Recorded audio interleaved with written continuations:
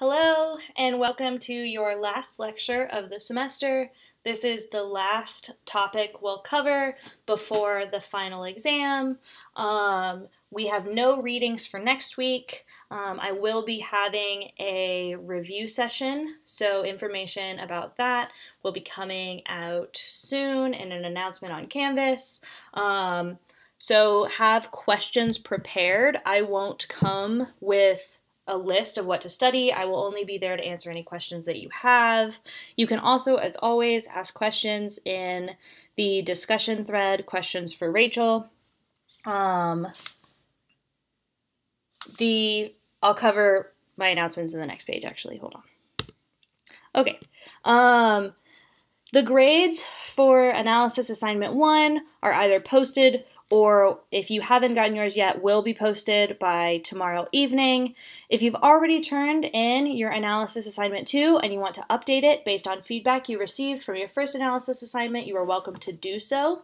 If you haven't turned in your second analysis assignment, you, ne- you need to turn one in either on private government, which is by this upcoming Friday, or on censorship, which is the topic we're covering today, by next Friday. You absolutely have to turn in your second assignment by next Friday, um, which I think is May 6th.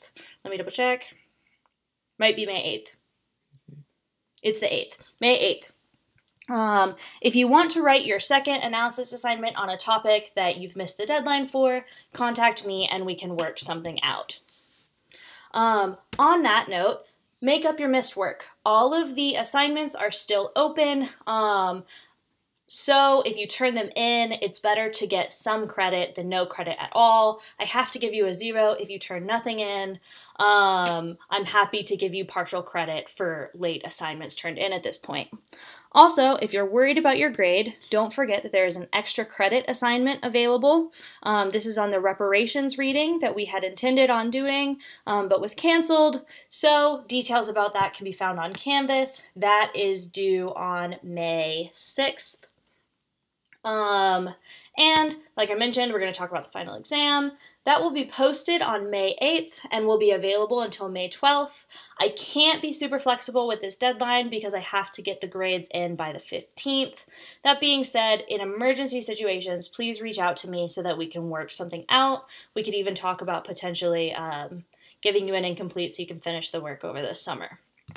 Um, if you have any questions about any of these assignments, any grades that you have, or um, making up missed work, just reach out to me and we'll get it figured out.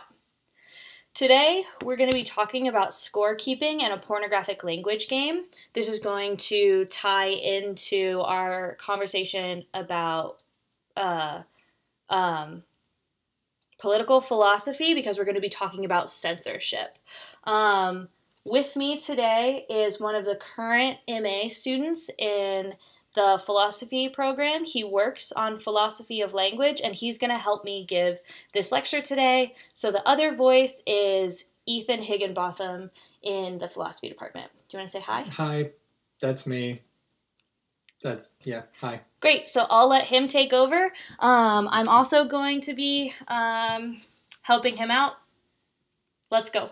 Let's start. Okay. Great. So yeah, as she said, uh, we're going to talk about scorekeeping in a pornographic language game, um, and it is by Rae Langton and Carolyn West. Uh, Langton on the top, correct? Mhm.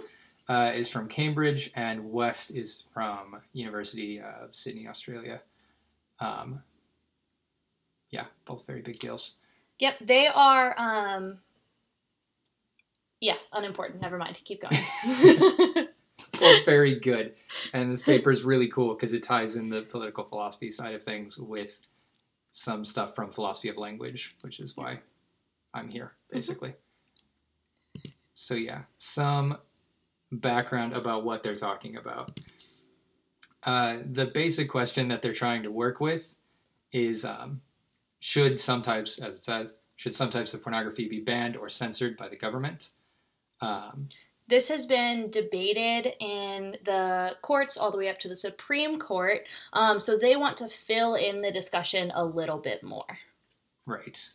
And the general thinking is that it shouldn't be censored because it's going to fit under some sort of free speech defense.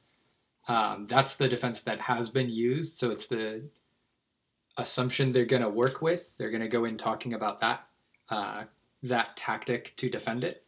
Um, and the way that they do that is they see, well, if it's going to count as, or if freedom of speech is going to defend pornography in this case, uh, it must be some kind of speech. And if it's some kind of speech, what is it saying? And then, so there are some accounts of what it's saying. So Dworkin's account, uh, he says, porn explicitly attempts to persuade audiences that women are inferior slash like to be dominated or at least should be treated in this way. That's one account of what porn might be saying. Uh, there's another, which is by uh, MacKinnon and Scoccia. Yeah, hopefully. I think it's Danny Scoccia.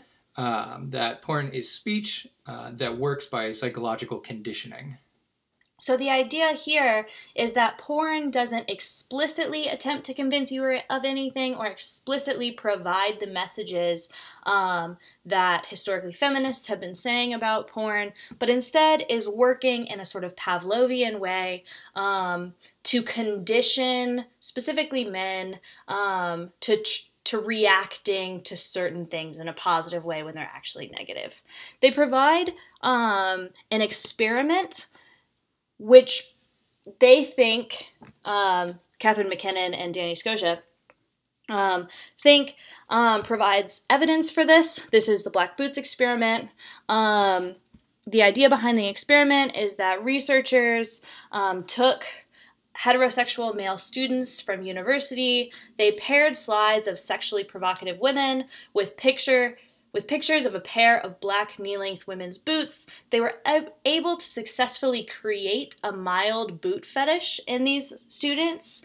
Um, in other words, the black boots, when when shown by themselves, became somewhat sexually arousing. There was even a slight tendency to generalize to other sorts of footwear in the students from this experiment. So this might seem to provide some sort of um, reason to believe that porn is working in this sort of Pavlovian way. Um, but as we're going to talk about in a second, Langton and West think that there's probably it's probably most likely that it's some sort of middle ground between purely psychological conditioning and this explicit attempt to convince you of something. Right. Okay. So looking at specifically Langton and West's position, um, they say here uh, if pornography is speech, then we can expect it to be at least partly continuous with other forms of human communication and to produce its effects on beliefs, desires, and behavior in a manner that is not utterly different from other speech. So essentially, if it's speech, it's going to work like other speech. And what they mean by that is that it's saying something. Yeah. In a very normal sense, saying things Yeah. is what speech does. Yeah. So yeah, and they're going to go from that uh, that claim about speech, uh, and connect that forward to the feminist claims about uh, whether porn is subordinating and silencing women. I want to make a brief note about the type of porn that Langton and West are Right. talking about. Um, they mention this in a footnote. I wish they had been slightly more explicit about this. LOL punny. Um, okay, sorry. Um, but they're They're talking about a very specific type of porn. Um, arguably, um, some feminists, as some feminists have argued, the type of porn they're talking about is going to ultimately capture all of the mainstream types of porn. Um, however, um, you may be familiar with some of the less popular types of porn, such as what's called feminist porn. Um, they're specifically talking about porn in which women um, are degraded, um, dominated, um, humiliated, hurt, um, or in its most um, obvious example, raped in what we're going to later call um, favorable rape porn. Right. So that's the specific type of porn they're talking about here. Yeah. So it's a question of whether that's going to apply to all types of porn. If you're not inclined to think it is out the gate, that's okay. They're at least talking about some type of porn. Yeah. Not specifically. So if you think that not all types of porn um, shows women in these vulnerable situations, we'll say, um, just limit limit the scope of their argument to these cer- these specific types of porn. Right. Okay, so there's kind of two. There's a fork in the road that they get to right out the gate. Um, when you're talking about porn being defended from censorship on this kind of free speech grounds, um, well, it's either going to need need to fit into one of these two categories. Um, one case is that porn isn't speech, so that that uh, defense isn't going to make sense, um, and then censorship for censorship isn't going to be prevented by a free speech defense. On the other hand, if it is going to be defended in this way, porn must be speech. But if it is speech, we can ask, what does it say? Um, and does it silence and subordinate women um, in the ways that have been claimed?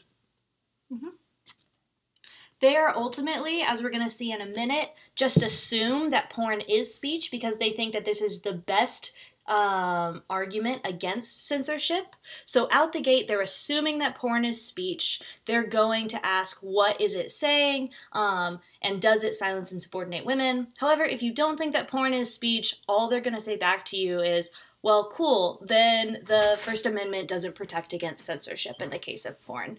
Um, that's why they're assuming from the get go that porn is speech. All right. Did you have something? Okay. Um, yeah. So just to lay out the general shape of how this article is gonna go, um, they're gonna start with the initial question: Does porn say anything at all? Um, if it does, what is it that it says? Um, from there, does it have power over us in some kind of relevant way, changing uh, behaviors, desires, beliefs, what have you? And then Another question Does it say that women are inferior or that sexual violence is legitimate? Those are kind of the main questions that the various parts of this are going to seek to address. And then they'll handle a couple of objections. So the first being that porn doesn't say anything explicitly or directly. Uh, and then the second is that porn is merely a fiction. It's it's just not real. So those are the two kind of arguments against it they're going to try to handle. Yep. So, um, as we mentioned, this first question, they're assuming that um, porn does say something since they're assuming it's speech, um, having no reason to think that porn as speech would function any differently than every other type of speech. Um, the primary purpose of speech is to say something. They assume that speech, I mean, porn does say something. So, um, this first question we tackled in that last slide. I know that's kind of confusing and I apologize. Um, so we're going to quickly move to that second question. Um, and we're going to kind of do some jumping around. The reason I've laid it out like this um, is so you can easily get all the different parts, even if they kind of mash the parts up together. Right. And this will follow well with reading the paper. It's yeah. It matches the structure of the paper. So it's a good way to follow it. Okay, so first things first. Um, they're going to talk about speech acts a lot in this, and I figure that might be a new concept, so I'll explain it. It's pretty simple. Basically, a speech act is when you more or less do something by saying something. So, some of the classic examples are uh, when someone officiating a wedding says, I now pronounce you man and wife, um, they are actually doing the action of marrying those two people. Uh, saying, I now pronounce you, blah, blah, blah, does something. It marries the people. Um, alternatively, like proposing, uh, saying, Will you marry me? That is that is proposing. Um, also, if you like christen a ship or giving something a name, you're saying, I I dub thee so and so. You've given the thing a name. You've actually done an action. So that's what a speech act is. Um, and they're going to say that porn is is functioning as a speech act.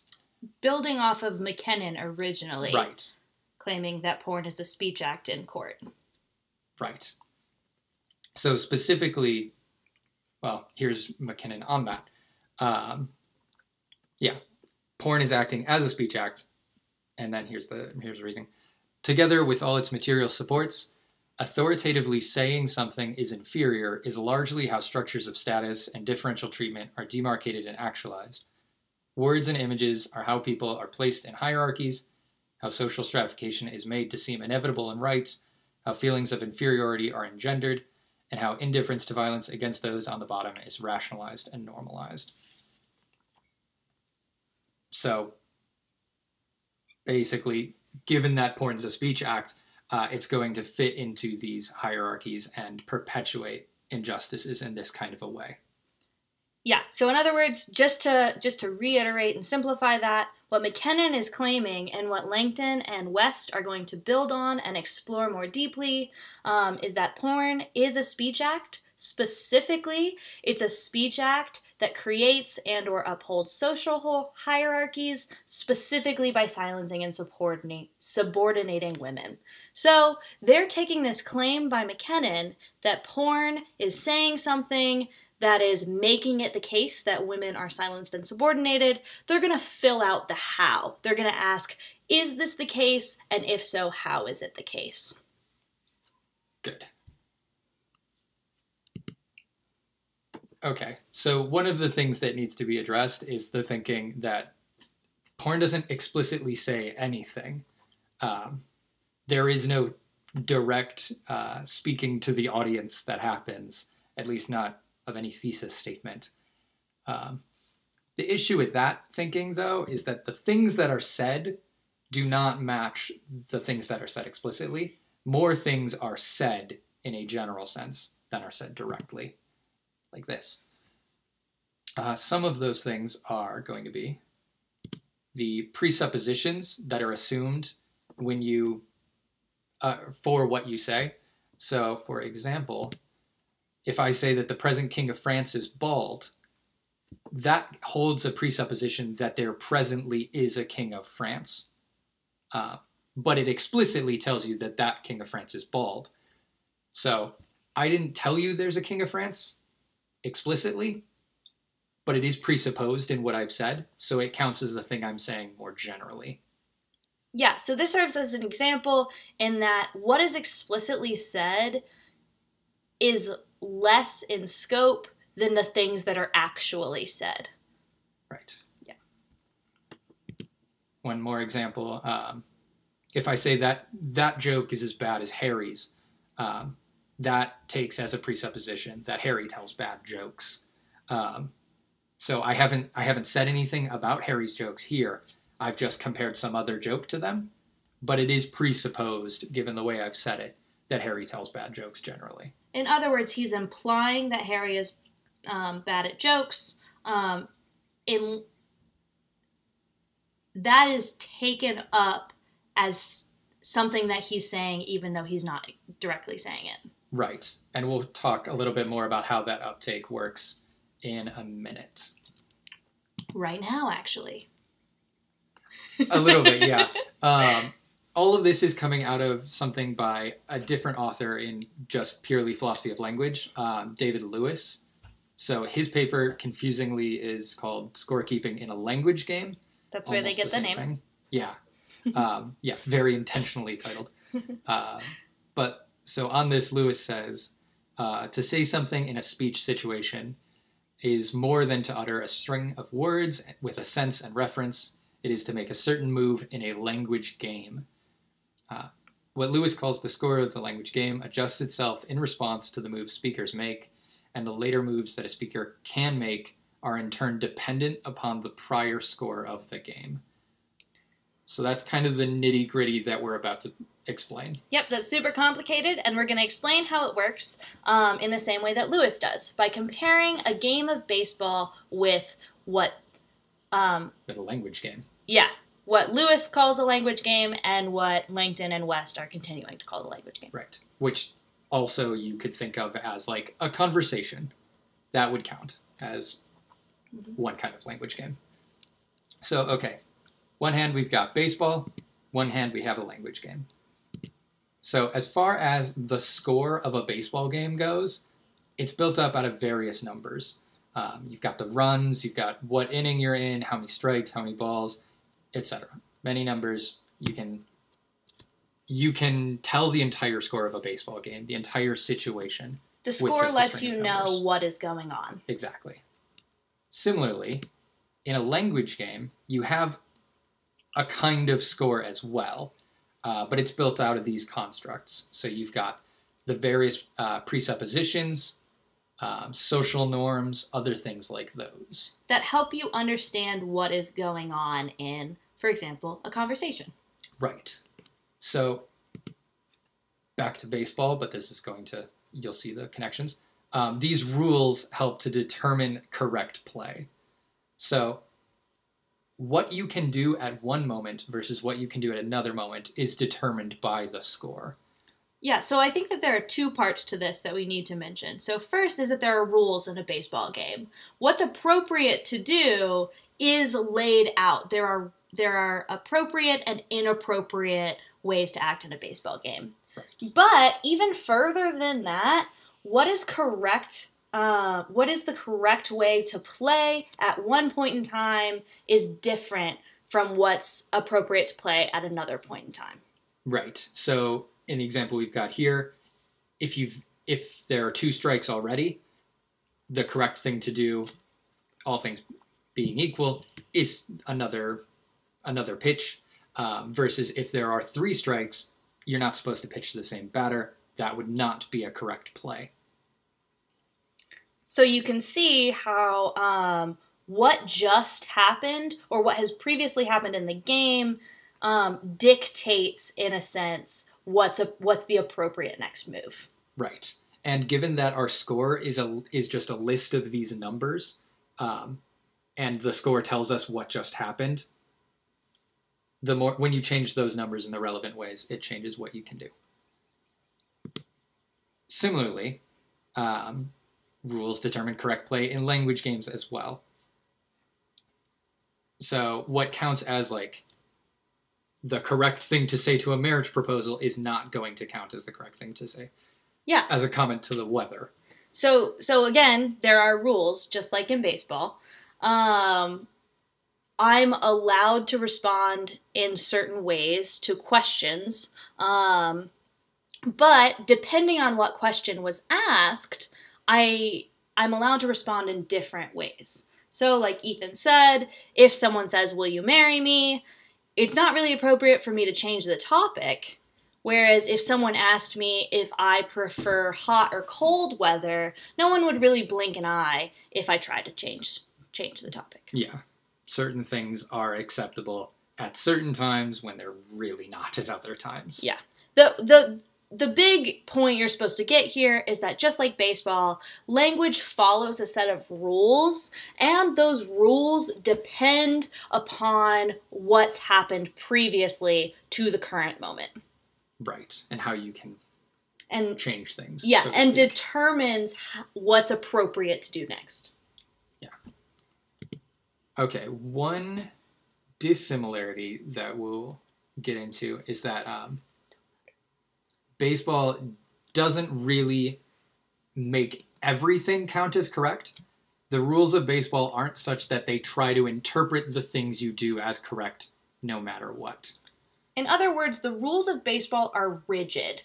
You are either correct or you're incorrect, but it doesn't attempt to take any action on your behalf and make it correct.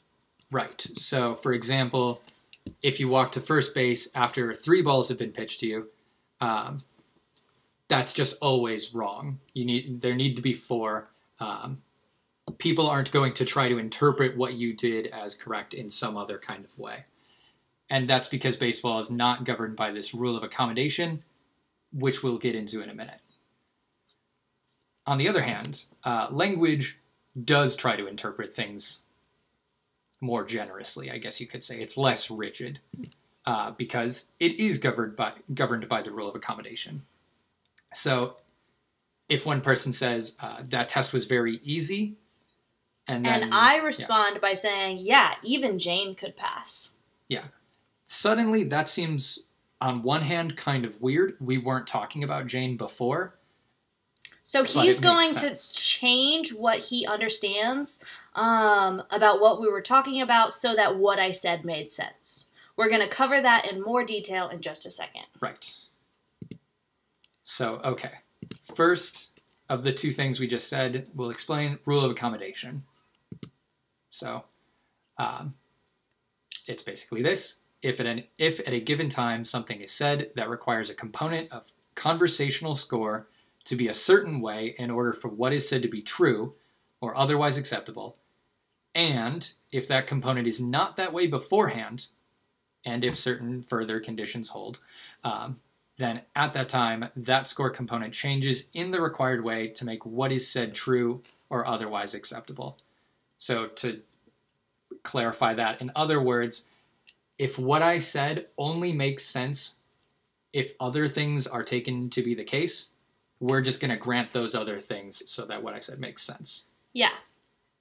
So, to just reiterate what it says on the slide, if someone says something which requires a missing presupposition or a background assumption, and no one challenges it, importantly, that presupposition is immediately established as part of the score, making the move count as correct play. So, unless someone challenges what I say, when I say even Jane could pass, it's taken as accepted. Um, that Jane wouldn't have passed normally. that Jane is incompetent or a bad student or often doesn't pass. Right.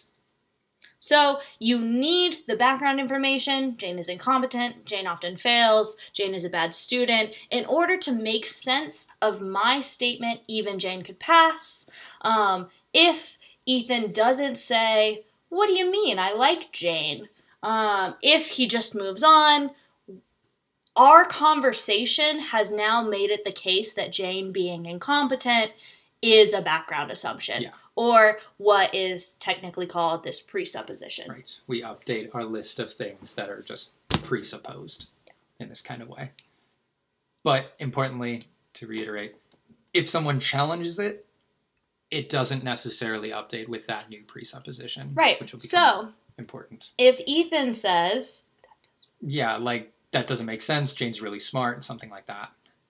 Yeah, then the conversation, what I just said doesn't make sense. We have not added Jane is incompetent to our presuppositions. Right. but it might be harder to challenge um, presuppositions than things that are said outright. If I just outright said, even Jane could pass, and Jane's just incompetent.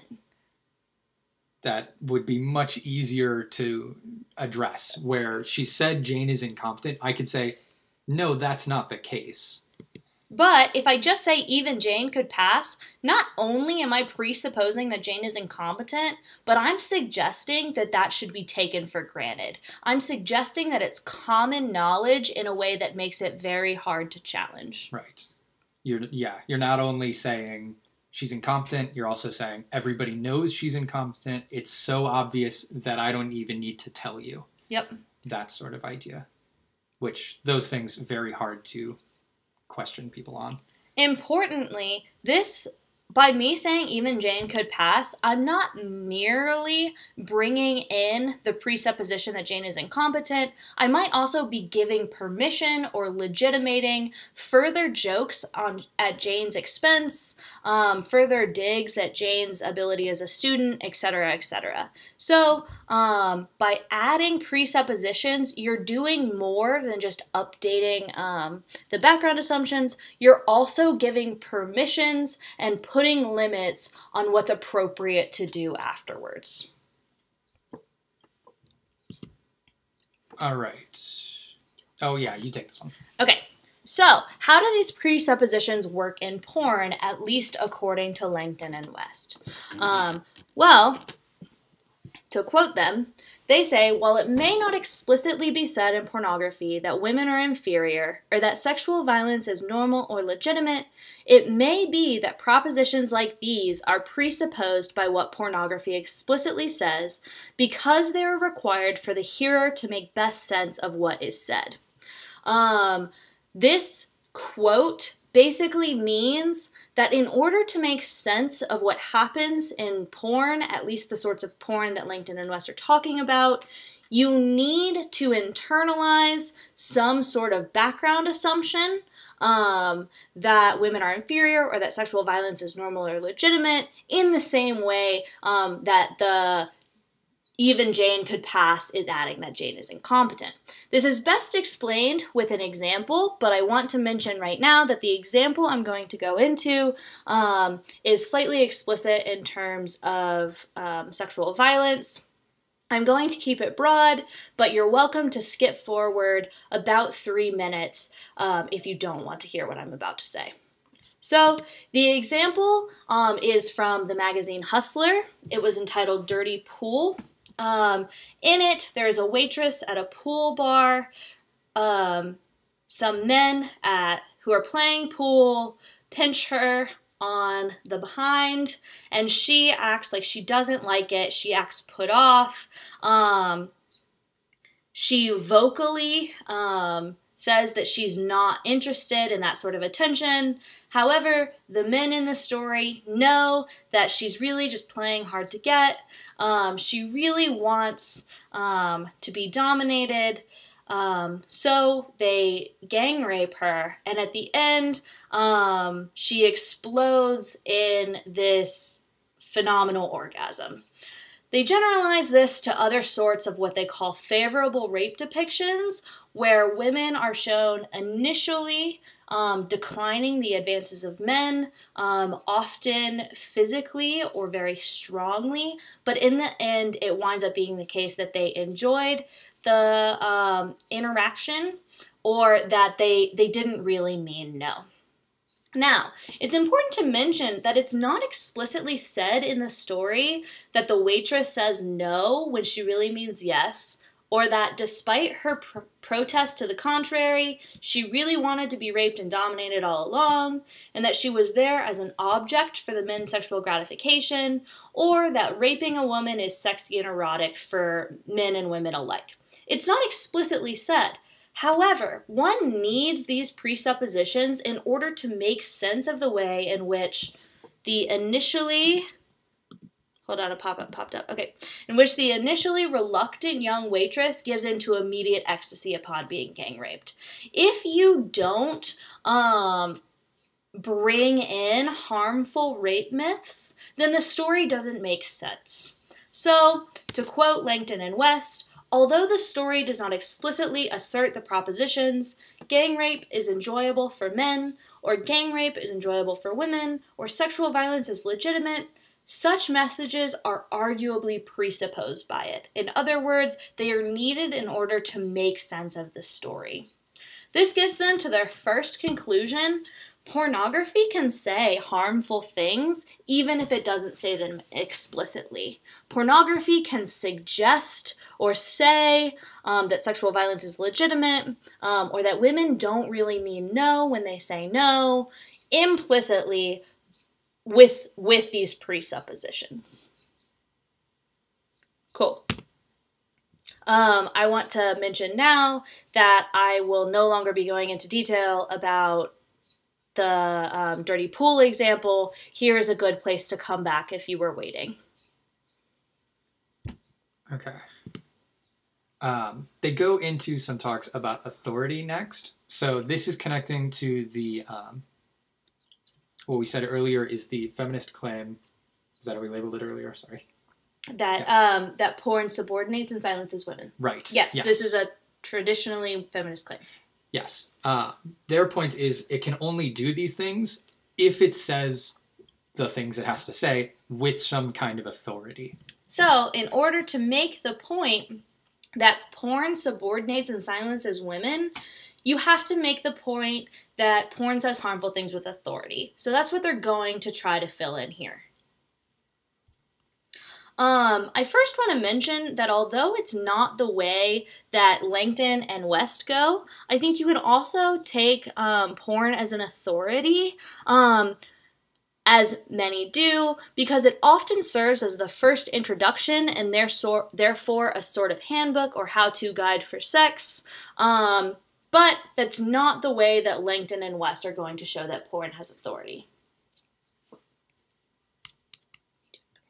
Okay, so, um, okay, so to fill in and determine who has authority when it comes to language games, they mention that the success of the rule of accommodation depends on who the speaker is. So, if you take, for example, um, a master and a slave, the master is able to change what is permissible or impermissible for the slave to do using his speech. He is able to effectively engage in speech acts only because he has the authority to do so. The slave cannot do something similar. Um, as Langton and West are going to argue, porn only changes, uh, or the question that they're answering right now, porn only changes what is permissible or impermissible to do or say or believe if it has authority. So what they're talking, um, you cannot step across this line, and it this master really is the master of this slave. It is actually just the case that the slave can no or is no longer allowed to do that. So by saying you're not allowed to do this, the master has actually made it the case that the slave is no longer allowed to do it. So that would be an example of speaking with authority, allowing you to give uh, to perform these speech acts. Good. However, if the slave responds by saying, "Actually, I I am allowed to walk over that line," they are not actually doing anything with that statement because they lack the authority to do so. In other words, they are unable to engage in a sort of effective speech act. This brings them into how they're defining authority. Um, authority is the opposite of being silenced, according to Langton and West. So, a way of being silenced in situations with power differentials is not to be prevented from uttering words. As I just said, the slave is able to say, No, I actually am allowed to move across that white line, but to be prevented from making certain intended moves in a language game. The slave is not appropriately allowed to say that, um, if they do say that, it doesn't change um, anything. It's un it's ineffective. In other words. So to connect back to the baseball example earlier, if the slave says, "No, I really can do that," they've said the words, but they haven't updated the score. All of the numbers stay exactly the same in that instance because yep. they don't have the authority. So, as we saw in the last slide, Porn is able to make moves in a language game. It's able to update the score by adding presuppositions. It adds presuppositions that are necessary to make sense of storylines. Um, these preposition presuppositions can include um, that women don't really mean no when they say no, um, and as I'm going to explain in a second, the moves that porn makes, or pornographers, or porn writers, or however you want to cash that out, makes it the case that women are not able to challenge those moves effectively. Women are not going to be able to push back on the presuppositions made by um, porn in the same way that a slave is not able to effectively um, challenge what the master says. So, um, here's the example um, with the master and the slave. Uh, that Ethan was explaining, if the master says cook dinner, this is an acceptable move in the language game. It does something. It makes it the case that the slave is supposed to go and make dinner. Um, the slave, on the other hand, if they say cook dinner to their master, this is an unacceptable move in a language game. It does nothing. Um, although they can utter the words, there is no meaning that is conveyed, there is no action that happens. Langton and West say that porn introduces the presupposition that women don't really mean no or that sexual violence is legitimate, women are unable to say no or protest in ways that count as acceptable play. The reason why this is the case is because if the presupposition that is introduced is that women's no don't really mean no, or that women secretly do want to be raped, then there's no way for women to effectively communicate that this isn't the case. Because anytime a woman actually says no, um, that isn't going to be taken up given the presupposition that no doesn't mean no, um, or against all protests, women are actually enjoying what's going on. If we accept the presuppositions of porn, there is no way for women to effectively challenge those presuppositions because anything that they say plays into the narrative. Right. You get stuck in a position where no means yes, but yes also means yes. There's no effective way for women to say no. So women are stuck in this sort of bind. So, this is kind of a complicated slide. Here's uh, how I'm going to um, summarize and simplify it. I was trying to combine those words. Um, you have authority in a language game if you're able to change the score or if you're able to make certain moves. Porn, as we've seen previously, is able to change the score. It is able to make certain moves, given that it requires presuppositions to be accepted in order um, for the story to make sense. Now, we might say here, well, hey, maybe just porn doesn't make sense.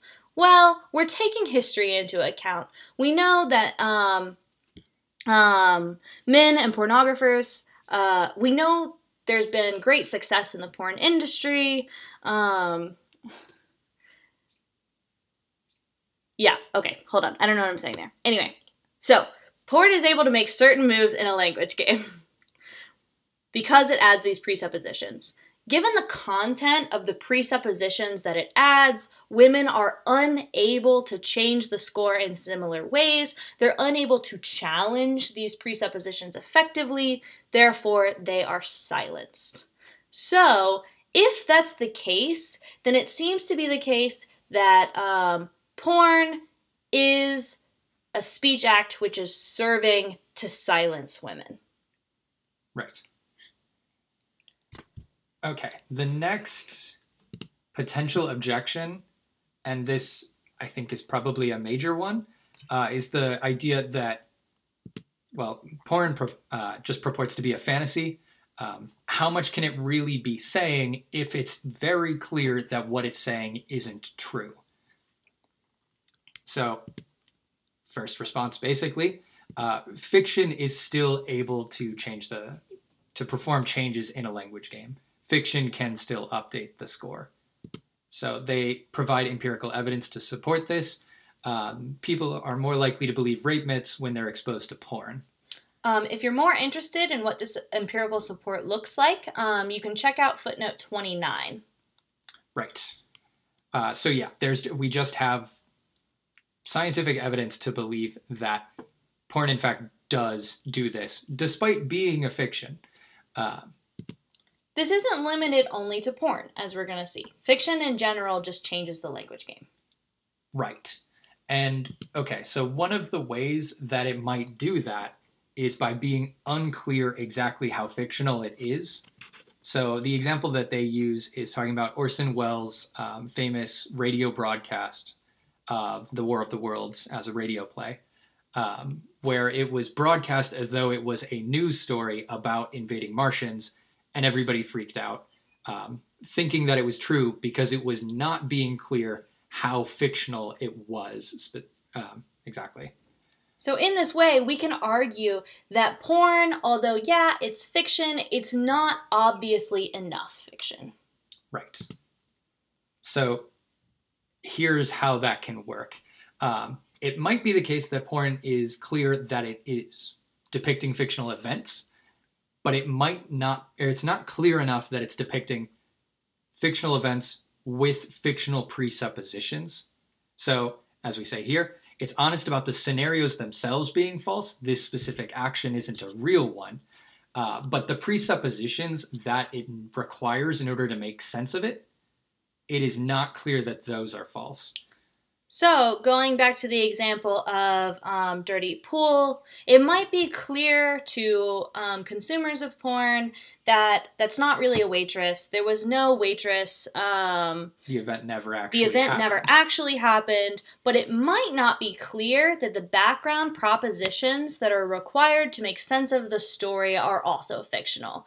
These um, background propositions, like I mentioned before, are that women don't really mean no when they say no, women enjoy being raped, etc., etc. So, although porn might be honest about the fact that the scenarios are fictional, they aren't honest enough about how fictional the background propositions are or the background details. Right, and this I think is connected to when they talk earlier about how it's harder to connect uh, to question the background assumptions in something.